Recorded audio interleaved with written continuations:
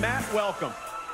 Uh, We just showed the viewers what you accomplished on Friday Night SmackDown a couple of weeks ago. An auspicious beginning.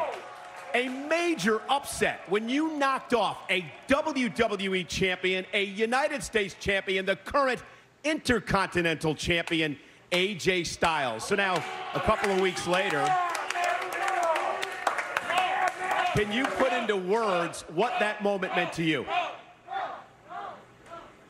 Not really. To be honest, to get called up from NXT and to be on SmackDown now is just awesome.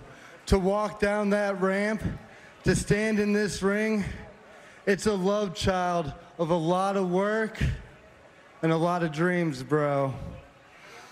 But then to have AJ Styles punching me in the face, I was like, bro, like it was it was like an out of body experience. I was like, bro, AJ, I respect you, bro.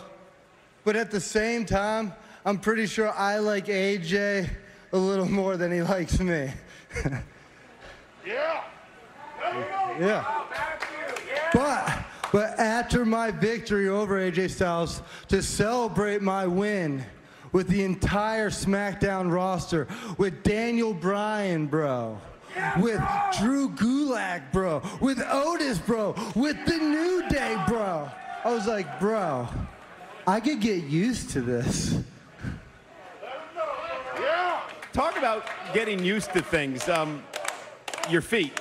I mean, you've competed everywhere, and you do it in bare feet. Why?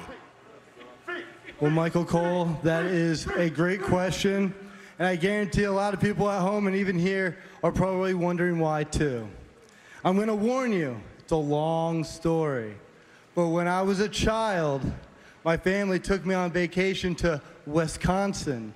And it just so yeah, just so happened to be wintertime, and they had a sweet indoor pool. So I would swim in the indoor pool, but then I'd go outside and play in the snow. And I did this back and forth, back and forth. And one day I kind of stayed outside a little too long because when I came back in to go swimming and I put my feet in the water, my feet were on fire.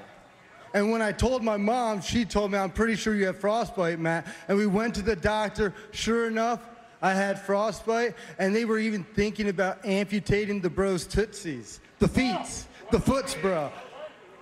Bro. Luckily, I pulled through, and that didn't happen.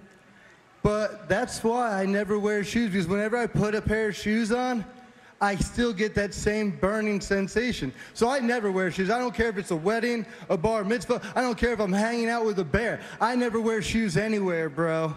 And also that day, I learned something. I learned that you could lose everything in a moment. And even though I can't feel anything with my feet, my feet allow me to feel everything else that much more. Oh. Well, keep competing barefoot because uh, after what you accomplished a couple of weeks ago, and I cannot wait to see what is next for Matt Riddle here on Friday. Okay, Riddle. Well, if that is your real name and all, you could have come out here and you could have saved everybody a bunch of time. You could have said, the reason I don't wear shoes is because when I was a little kid, I was an idiot. And I still am to this very day. what are you looking at, Michael? Last week, you embarrassed yourself. You thanked that old bag of bones that can't even carry my crown, and now you're out here, you're giving this guy airtime? You're no better than him. You should be ashamed of yourself. Matter of fact, Cole, get out of my ring. Get out.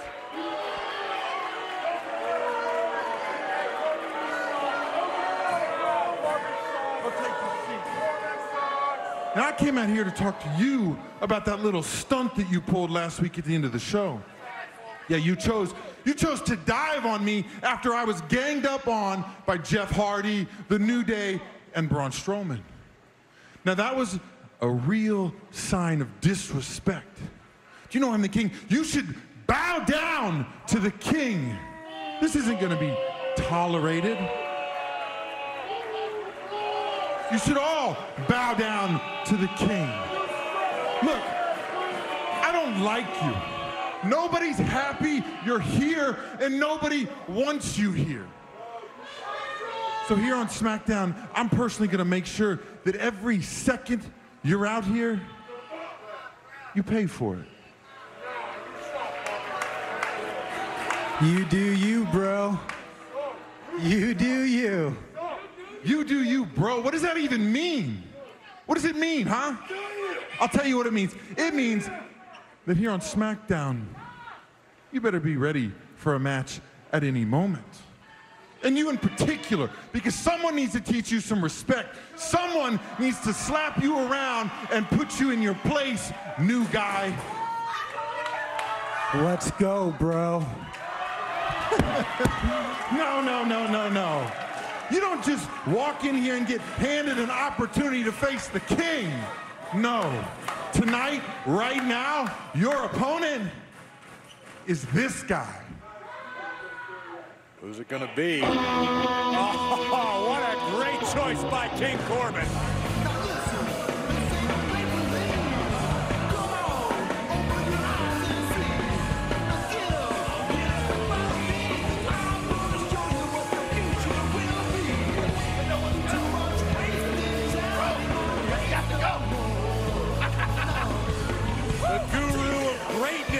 Bro.